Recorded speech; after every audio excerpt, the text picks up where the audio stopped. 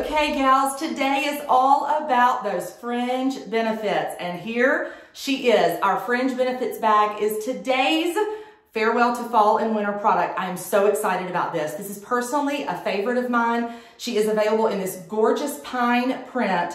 And don't forget to add a strap at checkout. You can do a skinny strap. You can do a short wide strap. The reason we do the strap separately is so that you are choosing a strap of your choice that fits your needs, right? But the Fringe Benefits bag is on a steal of a deal for today. You will not regret picking this up in this gorgeous pine color. Call your rep ASAP.